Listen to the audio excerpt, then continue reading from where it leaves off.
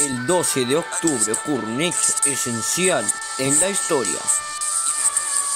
Y Diego's Company le hace un cortometraje al descubrimiento del nuevo mundo.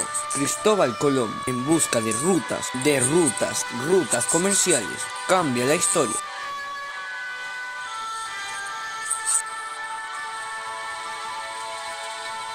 Colonización en El Nuevo Mundo. Cortometraje 13 de octubre. Colonización en América. 13 de octubre a las 17.45.